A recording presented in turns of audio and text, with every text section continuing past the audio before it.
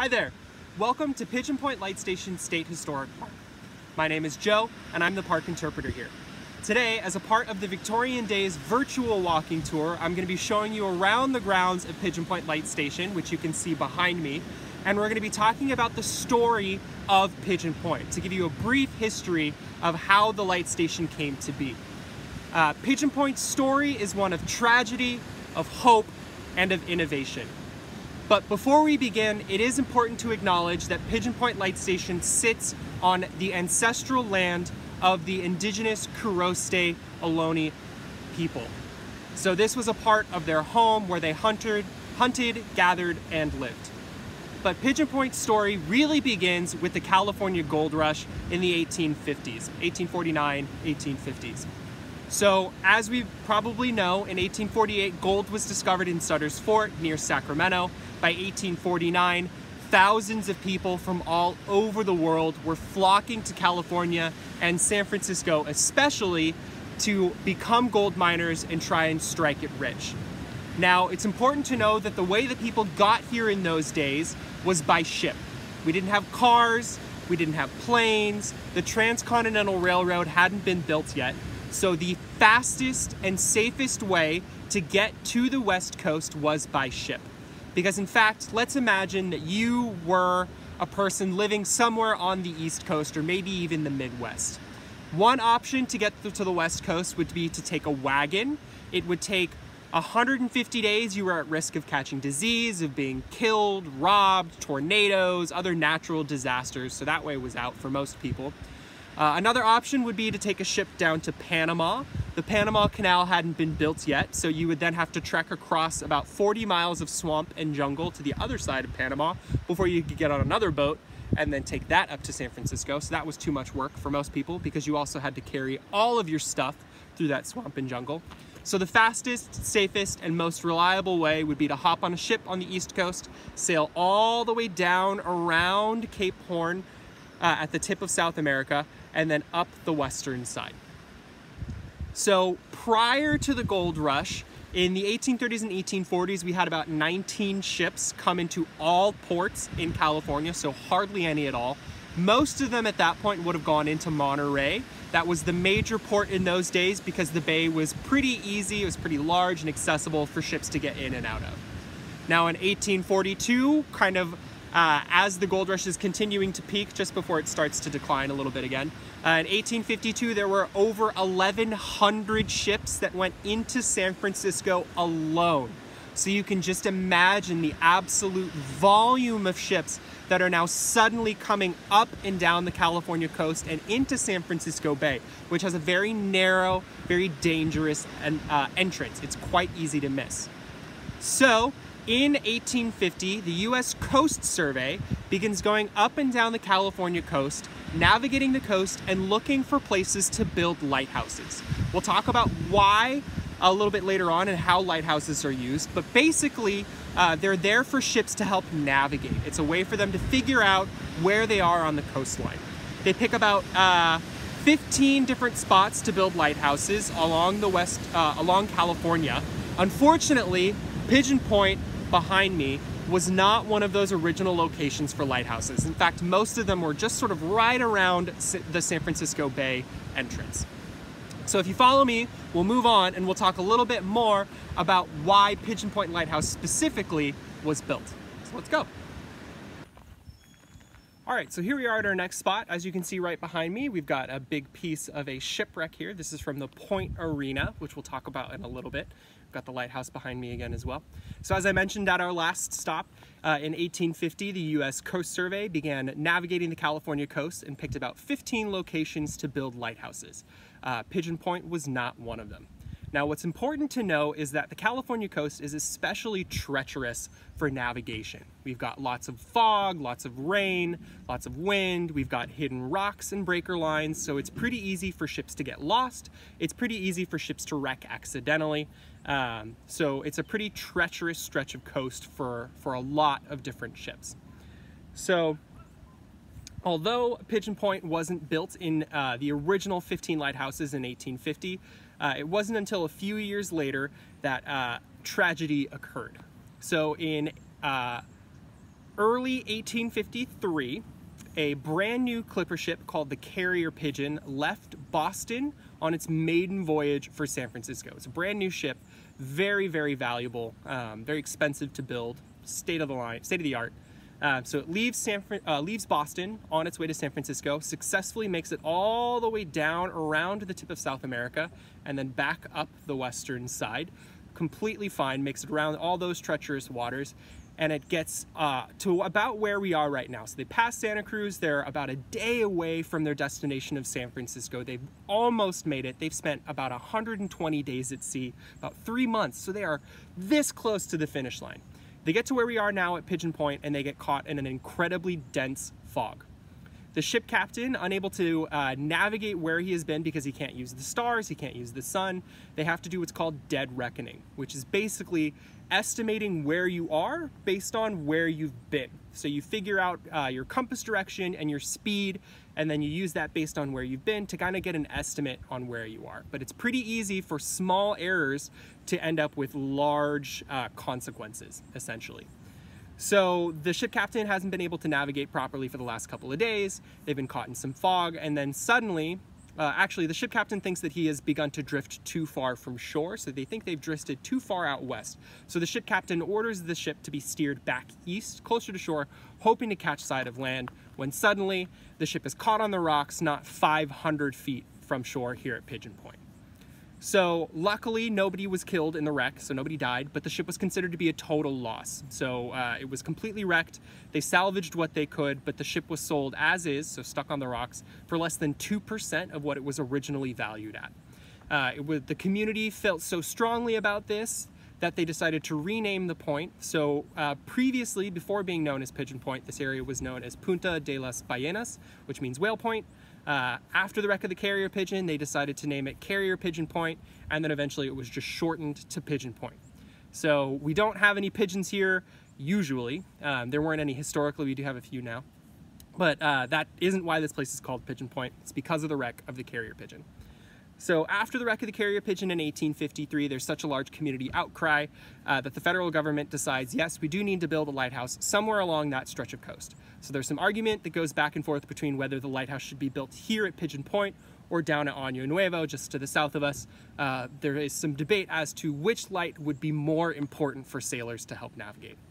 In the meantime, in the early 1860s, so this debate has gone on for quite some time, and in the early 1860s, something happens here in the US that sort of distracts the federal government from building lighthouses out on the West Coast. I'll give you a second to think about what it might have been. It's the Civil War. So unfortunately, the federal government is a little bit distracted over on the East uh, coast of the US, uh, so they don't have a lot of time and resources to pay for lighthouses to be built on the West Coast. So this project gets sort of put by the wayside. Unfortunately, in the meantime, in 1865, the uh, Sir John Franklin wrecks here at the point and about 13 people die. So it wrecks just south of where we are right now in Pigeon Point. Um, so 13 people die in that wreck. The next year, the Coya wrecks, um, not too far from where we are right now, and 26 people die. And then in 1868, about three years later, uh, the Hellespont wrecks and 11 people die. So in total, in these three years, we have three shipwrecks and 50 people die, right pretty much where we are right now at Pigeon Point. So after the third wreck in 1868, uh, a local journalist in San Mateo puts out an article saying, I guess we'll just never get a, a lighthouse here uh, at Pigeon Point and ships will continue to wreck and things will continue to go wrong. And that gets the federal government's attention. The Civil War has ended at this point and they go, oh, hold on, hold on, hold on. That's not, that's not true. And so Congress appropriates $90,000 for a lighthouse to be built here at Pigeon Point. Uh, and construction begins in 1870. So this wreck behind me though is actually from the Point Arena, which wrecked here in 1913. So well after the lighthouse had been built. And just to kind of take a quick tangent for a minute, because it is an interesting story. So uh, Pigeon Point was home for a commercial uh, wharf operation for quite some time. So uh, there was a local lumber operation in the area as well. So there was a ship moored here, the Point Arena, that had been a long-standing, successful uh, cargo ship. It had been taking lumber and other supplies back and forth along the coast for, for many, many, many years. So they're moored here at Pigeon Point, picking up some lumber from a local operation, uh, when suddenly, while they're moored, one of the ropes wraps around their propeller, rips the propeller off of the ship, the ship, now being unable to steer themselves, wrecks right on the rocks, right next to the lighthouse, maybe, you know, not a hundred feet off of shore. So pretty close. Nobody dies, luckily, but the ship is again a total loss. Um, the local community, seeing the ship wrecked right next to the lighthouse, says, you know, that doesn't look so great, having a wrecked ship right next to a lighthouse. So they burn it down to the water line. So they burn it completely. Uh, this piece right here actually washed ashore at Año Nuevo, just to the south of us, 70 years later. It was discovered in 1983, this whole wreck. It's quite a big piece. It was put on display at Año Nuevo for uh, quite some time. Uh, luckily for us, they did some redesign of their trails there, which took the trail away from the Point Arena wreck. So they very generously donated it back to us here at Pigeon Point Light Station for us to put on display. So now it's been brought back home to where it wrecked originally.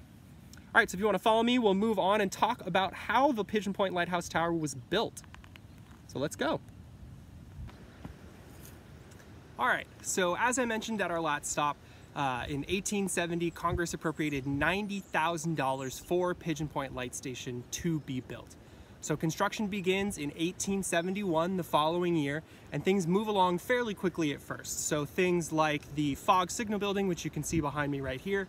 This is actually a, a newer structure. The original burned down fairly quickly after uh, a few, about a decade after it was originally built. But the fog signal building was built. The carpenter shop, which I believe is that building right here was built pretty quickly. And then the keeper's quarters. So this is kind of an edge of one of the newer keeper's quarters now, but the original was a four apartment Victorian uh, that was built fairly quickly. So those four structures were built uh, fairly rapidly. The fog signal building actually went into operation in September of 1871. And, um, but that was because these buildings were made out of wood, so it's a little bit easier to put them together. The Lighthouse Tower, on the other hand, ran into a few more issues, let's say. So originally, so as we can, I don't know if you can tell, but the uh, tower is made not out of wood and neither is the little office at the base, it's made out of brick. So the bricks were made locally, we think most likely in Pescadero. Uh, I'll give you a couple seconds if you want to take a guess at home about how many bricks do you think it took to build the lighthouse tower? It's a lot. It's about 500,000 bricks were needed to make this tower. It's quite a few. So they actually got started on construction. They were putting the, the tower together when an inspector came by, took a look at the bricks and said, no, no, those aren't good enough. We need what's called city bricks. So they dismantled what had already been built, sent all 500,000 bricks back to Pescadero to be re-kilned, had to wait for all 500,000 to be brought back before they can start rebuilding the tower again. So it took quite a lot of work. Now, as we can also see, if you look kind of all the way up at the top, all the way up there, you'll see what looks like some iron. So that's cast iron. Um, that was all made by an ironworks company in San Francisco, so that had to be brought over as well. So this is the second issue that they ran into. They've got all the brickwork together, and now they're assembling the iron staircase that goes inside. So there's an iron spiral staircase inside the tower. As they're putting that together, um, they're having some issues. They can't quite get the stairs to fit no matter which way they try to assemble that staircase, they can't get the pieces to fit. And they're thinking to themselves, what did those people in San Francisco do? Why don't their staircases work? So they stop construction, they go up to San Francisco, get an employee from the Ironworks company, bring him all the way back down, which takes quite a long time because remember, Highway 1 doesn't exist yet. And so the fastest way to get up to San Francisco from Pigeon Point is by ship. So they go up to San Francisco, get an Ironworks employee, bring him back down, and they go, What's wrong with your staircase? We have tried every way imaginable to put this thing together and the pieces do not fit. What's going on here? And the Ironworks company takes a look at the staircase, he takes a look at the uh, construction crew and he goes, well, haven't you ever painted by numbers? And turns out all of the pieces in the stairs are numbered. So what's important to know is our tower is conical. It's wider at the base than it is at the top. This is for structural stability. So the stairs need to be assembled in a particular order because that staircase gets more tightly coiled as you go up to the top of the lighthouse. So all of the pieces are numbered in a particular order. So all of the stairs in the first half spiral up to the first landing are all numbered one, the second half spiral are all numbered two, and so on as you go up the tower. Um, so luckily they were able to get that put together as well. And finally, in November uh, of 1872, Pigeon Point Lighthouse was lit for the very first time. And it actually has been an active aid to navigation ever since then. So this November, it'll be 148 years since Pigeon Point Lighthouse was very first lit. And it's been continuously helping sailors navigate up and down the California coast ever since then. But if you want to follow me to our next stop, we'll talk about how lighthouses work and how Pigeon Point lighthouses work, uh, Pigeon Point Lighthouse works specifically. So let's go. So here we are in the fog signal building here at Pigeon Point Light Station State Historic Park. So this is actually now our visitor center, which unfortunately is still closed to the public. Uh, but luckily, since we're on our virtual tour, I can show you around inside. So as you can see behind me, this is the historic first order Fresnel lens that sat at the top of the lighthouse and helped mariners navigate up this stretch of coast for over 100 years. And remember that it was lit for the very first time on November 15th, 1872. It's almost 148 years ago. Now, before we talk more about how this lens works, I want to give you a little bit of background on how lighthouses have worked throughout history. So the very first lighthouse was in Alexandria, uh, and that would have most likely just been a large pyre, a large uh, wooden bonfire burning on top of a very, very tall tower. The next few lighthouses were pretty similar, uh, a similar sort of bonfire or pyre on top of a tall tower along the Nile in Egypt. After that, they moved to trying coal, which burns a little bit brighter. Um, but wood and coal both have similar issues. Um, they smoke quite a bit, so you can't enclose them in a glass dome, which means they're exposed to the elements. So things like wind and rain can put the fires out fairly quickly, and they're not that bright. So you can't see them from very far, which is the main point of a lighthouse. So after that, they tried a bunch of candles on a sort of chandelier style, um, that worked in terms of preventing a lot of smoke buildup, so you could enclose it, protecting it from the elements, but still it wasn't very bright at all. So the next step in lighthouse uh, technology was what's called a parabolic reflector. So here's what one looks like. So you can see it's just uh, an oil lamp that sits in sort of a metal bowl here. And so the way that this works is that metal bowl has been polished to the point where it reflects some of that light that's coming out from the back of a light source, uh, it reflects it back in, the, in, a, in a direction towards C, if that makes sense. So uh, light comes out in sort of a 360 every single direction. So the parabolic reflector reflects some of that light back out, not all of it. So it's, it's a better step forward, but it's still not very effective. And you would need so many of these parabolic reflectors stacked together that it would end up looking like this in order to make use of this. So you can see just how many of these reflectors were stacked together in this apparatus just to make a light bright enough that, could, that it could be seen out to sea. And this required a lot of maintenance from lighthouse keepers. They had to fill each and every single one of these lamps. So each of these metal reflectors has a lamp inside of it. And each of these reflectors needed to be polished and cleaned very, very frequently. So they were very high maintenance and still not very bright. So in the early 1800s, Napoleon hired a French physicist by the name of Augustin Fresnel to invent a better light for their lighthouses. He said, I want you to make a brighter light that can be seen further out to sea by our ships. And so Augustin Fresnel thought to himself, well, instead of making a brighter light, so instead of making the light source itself brighter, why don't I just make better use of the light source that we already have? So why don't I try and capture more of that light to make better use of it? And that's what he did. He invented the Fresnel lens. So he finalized his designs in 1822, almost 200 years ago. And in fact, he did such a good job of capturing that light and redirecting it that there are still lighthouses in the world today that use a Fresnel lens as what we call the active aid to navigation. So there are still Fresnel lenses in use today helping ships navigate up and down their particular stretch of coast. That's how amazing and effective they are. So the way that a Fresnel lens works, you can see we have all of these prisms right here. So these are what we call prisms. And then this stretch right here is called a lens. So it's made up of prisms and lenses. The way that it works is by concentrating, reflecting and refracting light in a single direction. So as you can see, we've got our light source here. Remember that light comes out in every possible direction. So if we take this beam, for example, this light beam, it's coming up in this direction, and without the prism there, it would continue to go up, up, up, up, up in this direction and just stretch out, and wouldn't be much use to a ship.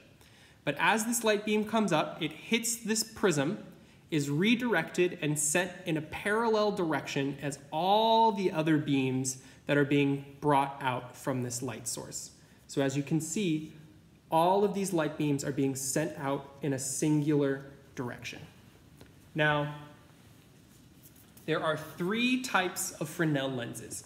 So the first one is this one in the middle. This is called a fixed lens. So this lens just produces a steady glow in 360 degrees and it's called fixed because it doesn't move. So if you can see on this pedestal right here, there's no mechanisms that we'll talk about in a second here. So this lens is designed to just sit there and produce a steady glow of light. The next type of Fresnel lens, which is what our type is, is called a rotating lens, which as I'm sure you can guess what that means. So here's what a rotating lens looks like, or the one right behind us. So it sits on a pedestal with a little box right here, and this lens was designed to rotate. So fixed lenses have this sort of prism uh, situation right here. So they don't have what we call a bullseye lens in the middle, like you can see right here. So this is called a bullseye. So this lens produces a steady glow all the way around it. The rotating lenses produce beams of light so if you imagine the spokes on a bike wheel, that's what this lens looks like when it's lit up. So you can actually, if I rotate, if I move our camera really quickly, I can actually show you the beams of light around the room right now because we have a little light bulb in here and I turned it on for you. So if we move our camera over this way really quickly, you can see there is a beam of light right here. You can see there's a beam of light right there. There's another beam of light right there. And there's another beam of light right there. So these are all beams of light being produced by our lens from our light source inside of it. So it produces beams of light like spokes on a bike wheel, and it's designed to rotate. We'll talk about how that works in a minute. The third type is called a uh, fixed varied with a flash. So it's basically a combination of the two. And that looks like this one over here. So it produces both a steady glow and also rotates. So uh, the rotating lenses were designed to flash. So the fixed lenses just produce, as I said, a steady glow that can be seen out to sea.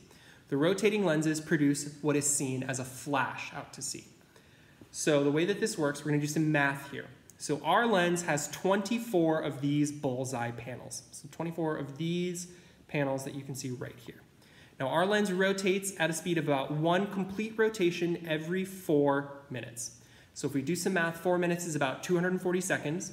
240 seconds divided by 24 flash panels means that every 10 seconds, one of these panels will pass in line with you.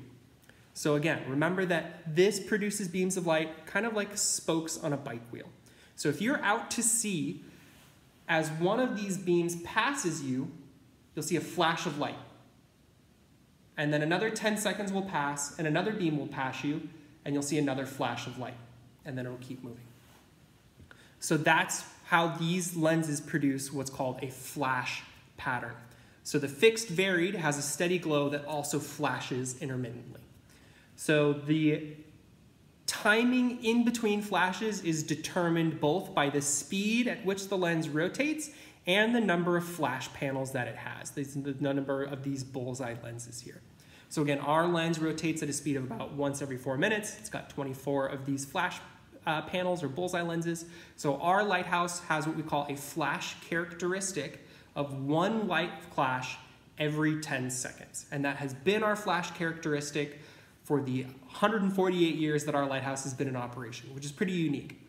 So speaking of flash characteristics, every single lighthouse has a unique flash characteristic.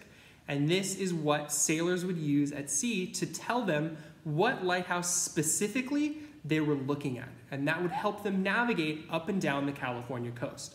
So again, if you saw one white flash every 10 seconds, you would know that you were looking at Pigeon Point Lighthouse specifically. If you saw one red flash every six seconds, That meant that you were looking at Año Nuevo Lighthouse. So lights could be colored, and the timing in between flashes in combination would be that flash characteristic that you could use to tell what lighthouse you were looking at. Now, the way that this lens rotated was by a clockwork mechanism. So remember that our lighthouse was built in 1872, before electricity existed. So as I showed you in that photo, you can see on our rotating lenses, there's a little box right here. So in that box is a bunch of gears that are then connected to, as you can see right there, what are called chariot wheels. So imagine these big wheels that sit below this pedestal. And as these gears rotate, these chariot wheels rotate, which then in turn rotates the entire Fresnel lens. This Fresnel lens, by the way, is a first order. It weighs 2,000 pounds. So first order just means largest size. This is the biggest they come, weighs 2,000 pounds. It's over 10 feet tall. It's huge. Um, I'm standing pretty close to the camera, so if I were to stand right next to this thing, it would make me look really tiny. So how did these gears move though? Because again, we don't have electricity, so they couldn't just flip a switch, have the gears rotate, and start rotating this thing right here. So it rotated by what's called a clockwork mechanism. So attached to this little uh, mechanism here was a cable that ran the length of the tower, ran the length of the tower. At the bottom of that cable was an 80 pound weight. Now as that weight pulled the cable, that cable pulled the gears, rotating them, which again then rotated those chariot wheels, which in turn rotated this 2,000 pound lens. Now, it took about four hours for our weight to reach the full movement. So to, to go from the very top of its movement down to the very bottom, it fell about 25 feet. It took four hours. At the end of that four hours, a poor lighthouse keeper would have to crank that weight up to the top of its movement so that it could fall back down again. And they did that every four hours at nighttime when the light was lit. Now, luckily, a lighthouse keeper shift was only four hours long, so you only had to do it once per shift. Now, the original light source for our Fresnel lens, because again, this is before electricity, was a lard oil lamp. So a lot of people think whale oil was used. At this point in history, whale oil was much too expensive because whales had been hunted to near extinction. So they switched to lard oil, which is basically just pig fat. It's much less expensive, it's, in, uh, it's easier to find, and remember they have to supply it for all the lighthouses in the US, which there are quite a few of. So it was an eight foot tall lard oil lamp. So they would fill it up here at the top. It would then sit down here. And then this is the focal plane. So they would have a bunch of wicks, five wicks in a concentric ring about that thick, pretty big. Um, and that was the first light source. So that was from 1872 to 1888. In 1888, they switched to kerosene, which is much more explosive and volatile, but it burns more cleanly and more brightly. They used that until about 1912 and then they switched to what's called an incandescent oil vapor lamp, uh, or an IOV.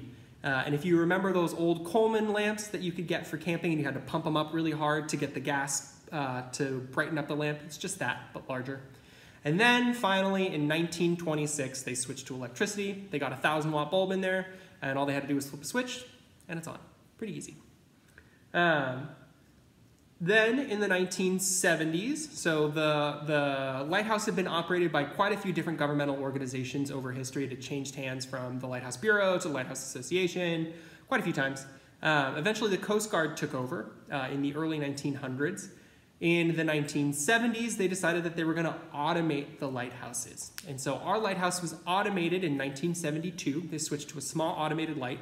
And since then, the Fresnel lens wasn't considered the active aid to navigation anymore. It still sat at the top of the lighthouse tower, but it wasn't used every night. The automated light was. And that made things a lot easier. Today, our automated light is about a five gallon drum. It's about, about the size of a five gallon drum. It's about this big. Makes one white flash every 10 seconds. It operates 24 hours a day, seven days a week. So if you're ever driving past Pigeon Point, especially when it's dark, uh, and you watch the lighthouse, you'll see one white flash every 10 seconds. All right, so if you want to follow me, we'll go outside and talk about what's going on at Pigeon Point right now. All right, so here we are on the back deck here at Pigeon Point where we'll finish up our virtual tour today. Uh, I just want to finish to talking about uh, what's going on at Pigeon Point Light Station right now. So as I uh, finished at our last stop, the lighthouse was automated in, the 19, in 1972 and since then the automated light, which you can see right there, has been in use uh, since then, so since 1972. So our lighthouse is still an active aid navigation. Um, now in 2001, we had a pretty big storm come through here at the light station. Um, and maintaining a light station takes a lot of work. Let me just put that out there now. Um, being a lighthouse keeper was a very, very busy job. They had a lot of tasks that they had to do on a regular basis. They had to clean and maintain everything on the ground, so they were very, very busy constantly. Now in 2001, we had a pretty big storm come through the light station. The tower hadn't been properly maintained over the years, and during this storm, the belt course, which is right here, now I want you to imagine the belt course as a metal rubber band that sits around the tower. That belt course had rusted over the years, so during this large storm, it swelled with water, cracked, broke, and fell. And it took two 300 pound chunks of brick with it. So about 600 pounds of masonry and iron fell in that storm in 2001. Now, it's important to remember that our tower has no structural stabilization whatsoever. There are no steel beams, no rebar. It is just brick and mortar, 148 year old brick and mortar. So that iron belt course that cracked and fell in 2001, remember it acts like a metal rubber band. So when intact, I want you to imagine the tower as a stack of pencils that you've held in your hands. That belt course is a rubber band you put around the stack of pencils. When you put that stack of pencils upright and you let it go, they stand. They're freestanding. But when that rubber band snaps, what happens to the pencils? They fall. So that's exactly what's liable to happen after that belt course has broken. So we were able to put some mesh banding up over it. Um, but we, since then, 2001, the Lighthouse Tower has been closed to the public. I'm sure you've noticed in some of our other previous shots today that there's been a fence around the tower to protect people just in case any other pieces of that belt course and brick decide to fall. Luckily, fingers crossed, none of them have so far. Um, so we've been waiting nearly 20 years. We've been very hopeful that we've been able that we would be able to eventually fix this lighthouse tower. And luckily for us, last July, the state of California appropriated $9 million for us to put to use to fix the lighthouse tower. So that money will be put to use on the top third, top third of the lighthouse tower. Uh, we're hoping to start construction sometime next year. We need an additional seven to nine million to finish the restoration because we've got to do some work down towards the base of the tower and on the interior. Um, but we're very excited that that nine million will be put to use uh, fixing the structural urgent damage up near the top. So remember that Pigeon Point has a story of tragedy, hope, and innovation. The tragedy of the multiple shipwrecks that happened here all the way beginning with the, the carrier pigeon in 1853, uh, multiple shipwrecks, the innovation of the Fresnel lens up at the top, that innovative technology that's been used for over two, almost 200 years since its inception in the early 1820s, and hope. So the people of Pescadero and the local communities hoped for a lighthouse to be built after that very first shipwreck nearly 20 years in 1853. And we here at Parks have been hoping for nearly another 20 years for the lighthouse to be restored. Um, thank you so much for joining us on our virtual tour today. I hope you've enjoyed learning a little bit about our park and seeing around the grounds here. If you want to learn more about our park and hear more about its story, including about the whales that live here, what it was like to be a lighthouse keeper, more details on the many, many shipwreck that happens, have happened here, check out our Facebook page at Pigeon Point Lighthouse. Um, we've got lots of videos uh, detailing what it looks like at the top of the tower, what it looks like on the inside, and many, many more. Uh, if you feel like you'd like to make a donation to help us restore the Lighthouse Tower, check out Coastside State Parks Association. Uh, they are our cooperating nonprofit um, you can make a donation to them that will go directly to our park to help restore it. Thank you so much for joining us, and I hope you enjoy the rest of your day.